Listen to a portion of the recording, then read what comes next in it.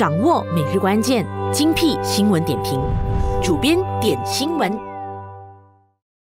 星期四下午好，欢迎你收听主编点新闻，我是佩玲，我是志峰。那丹绒比爱补选呢，就在后天，也就是星期六的时候呢，将会进行投票。不过呢，第一则今天的新闻，我们不谈丹绒比爱，我们换个角度来聊一聊吉隆坡的巴杜巴杜国会议席。呃，为什么要聊这个议席呢？难道会出现补选吗？啊，暂时还说不准了。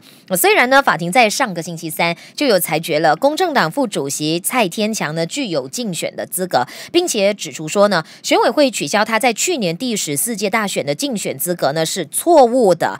那蔡天强会不会上阵呢？就成为了话题。他自己就说：“哎，他其实本身呢不急着。”竞选，那你认为呢？啊，我也觉得说他没有必要故意制造一场补选，让自己重返国会。那么我就从三个角度来分析，就是金钱、角色与任务以及形象。先谈金钱，因为补选呢其实是一个劳民伤财的一个政治动作。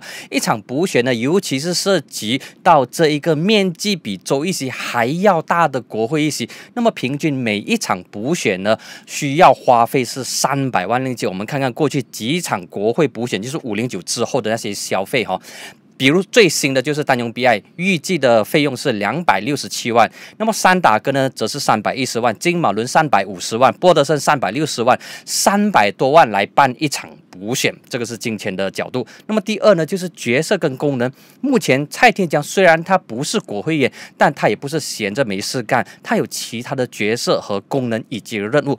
目前他已经受委大马生产力机构 MPC 的主席，同时也是工程部长巴鲁比安的特别顾问，这些都让他有发挥以及贡献的空间以及职务。第三就是形象。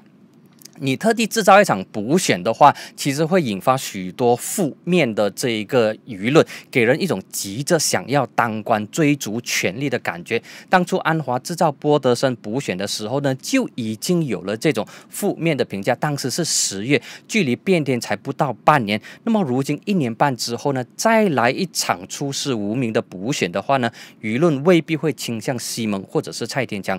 况且西蒙如今面对越来越大的质疑浪。潮综合这三个因素，现在不是巴赌补选的最佳时刻。是的，没错。去年五零九大选的时候呢，蔡天强在提名时就遭到了选举官呢取消提名资格，因为他涉嫌侮辱警察案呢被罚款两千令吉，就抵触了选举法令而被取消了提名的资格。那他就入禀法庭挑战选委会的决定，那最终呢是成功获得平反，拥有参选的资格。未来大选还有补选的时候呢，都可以上阵。那网媒透视大马就有问他。会再出来为民服务吗？他就说尊重人民的意愿啊，这个答案就有点模糊啊。不过看回去，去年五零九的时候，蔡天强因为这个案件而被取消资格，确实有一点冤枉和不应该发生在他的身上。不过不然呢，他现在就是 YB 了，而不是独立人士。就是去年只有二十二岁的 Prabha 成为马来西亚历史上最年轻的国会员，甚至还比纳吉当年二十三岁当国会。国会议员还要年轻，那么由于蔡天强无法上阵，他当时呢就呼吁选民全力支持 Prabha，让他以两万四千张多数票轻松过关，打败当时还在国政的民政党候选人刘华才，赢得非常漂亮。那么其实蔡天强呢，他是巴赌两届的国会议员，就是二零零八和二零一三，平均多数票都超过一万张。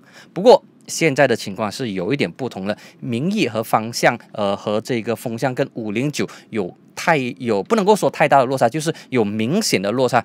蔡天强没有必要冒这一个险，况且 Prabha 现在他已经入党是蓝眼的国会议员，他同时也没有犯下什么。大的一个错误或者是呃失误，如果贸贸然把它给换掉的话呢，相信会引起不必要的争议。那蔡天强自己本身说，他并不急着出来重新竞选国会议员，而且他现在也身兼了一些官务职责。那他认为说呢，目前他的工作呢跟这个专注力呢是要做好分内的工作。他说呢，是否要再出来竞选呢，不是他个人的事情。那如果西蒙领袖还有公正党的领袖呢，认为他应该再去竞选，那再次在国会下议院发生了。话他说他会尊重。那如果呢觉得暂时先按兵不动，等待下一次的机会，他说他也可以接受。早前呢，就有十四个巴堵地方性的非政府组织建议，爸爸你辞职吧，让路给蔡天强上阵。他们认为应该给机会蔡天强重新回到巴堵服务选民。看来一些 NGO 开始展开攻势了，不管是谁出的主意或者是看法，都会对 Prabha 构成压力，因为他面对的不仅仅是这一些地方组织，而且还包括蔡天强这一名公正党副主席，他是公正党的强人。那么蔡天强出手，他是可以通过司法程序的。要求法庭宣判巴堵选举无效，重新举行补选。情况就如去年十一月森美兰让到州一席一样，失去竞选资格的公正党候选人呢，斯特兰就入禀法庭挑战啊这个让到补选的成绩。那么法官就裁决让到必须举行补选。最后虽然还是国政乌统的马哈善胜利，但已经有了这个先例。蔡天将会否采取同样的方式入禀法庭，要求宣判巴堵州啊这个选举成绩无效？嗯，那蔡天祥就说呢，他还需要咨询法律的意见，以便了解呢是否可以入禀法庭宣判把赌选区的选举无效。同时呢，他说还需要呢视乎公正党还有西蒙的安排。